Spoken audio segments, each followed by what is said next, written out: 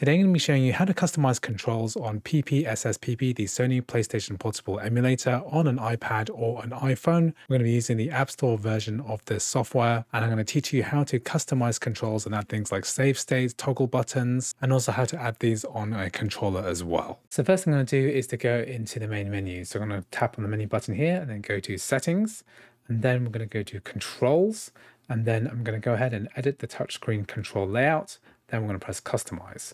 And then I'm going to go ahead and tap custom one. So I'm going to create my first custom button. And the example I'm going to be using today is fast forward. So I want to have a button which allows us to fast forward. Just going to customize the actual uh, button size and layout. So for example, here, I want this as a plus button.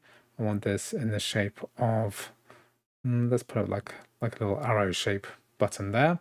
I want this on toggle mode. So I want to be able to toggle this on and off because uh, we already have a um, fast forward button by default, which is this one. I want one which I can toggle on and off. Okay, so basically that's my toggle button.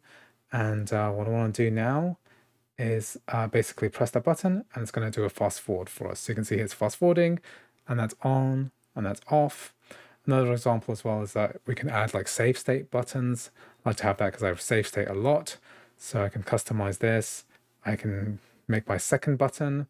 Let's uh, do save state. So we're going to find save state here, and then we'll just customize this button a bit.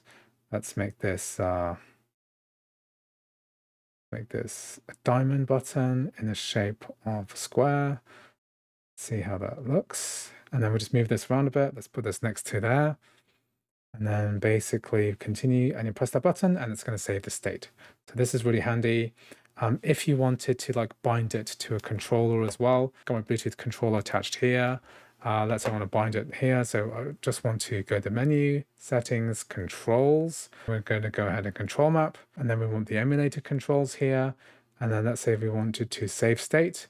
And then we can use an unused button on the controller. For example, I want to use the right analog stick press in and then go back, I can actually press my analog stick in. It's going to save state for us. So it's a really fast way of doing that. And the touchscreen is also available for us to save state too. So anyway, that's a very basic guide on how to set up custom controls on the PPSSPP on an iPad. I hope you found this video useful. Thanks for watching and I'll see you in the next one.